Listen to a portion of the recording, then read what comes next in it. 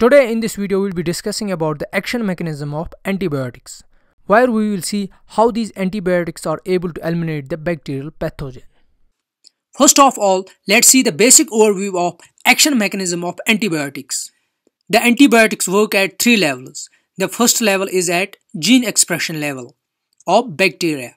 The gene expression of bacteria is three-step process where we see the flow of information from DNA to RNA to protein.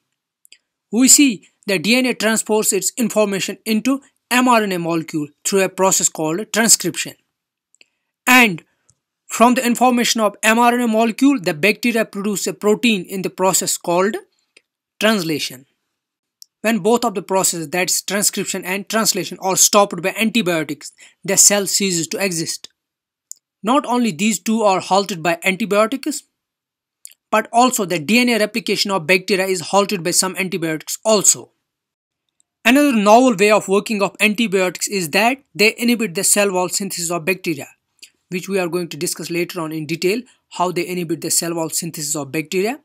We humans do not have cell wall like bacteria have. So the cell wall becomes easy target of antibiotics.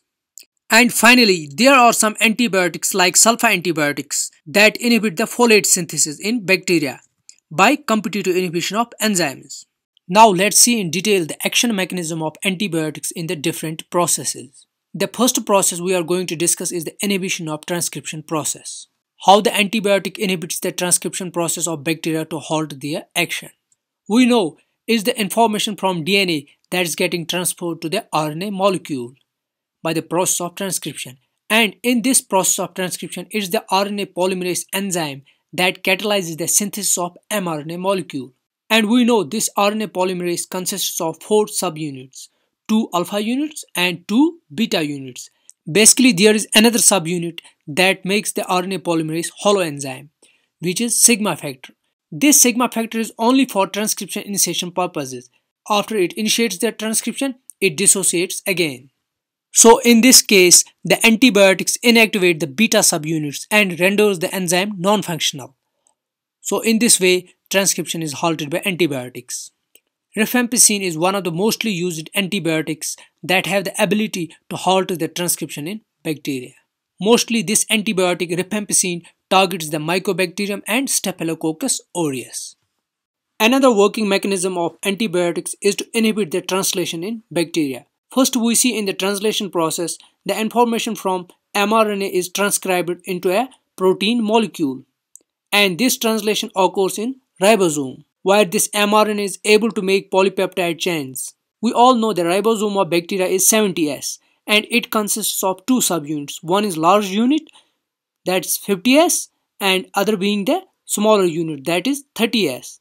And during the protein synthesis that's the translation the mRNA chain embeds itself in the ribosome between two subunits like this as shown in the figure and then the charged tRNA starts to make the polypeptide chains by incorporating amino acids by taking the codon information from mRNA chain. So this is how the translation process kicks in. But see, the translation process is very sensitive.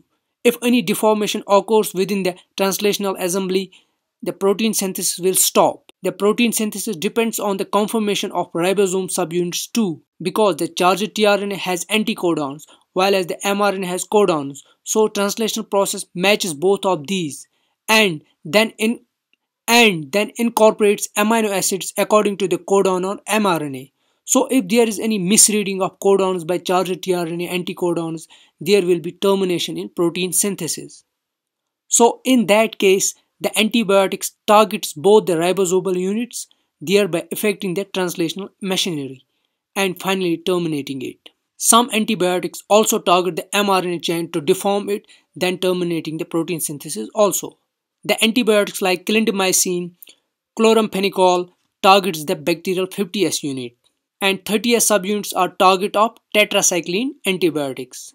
So this is how the inhibition of translation is achieved by these antibiotics.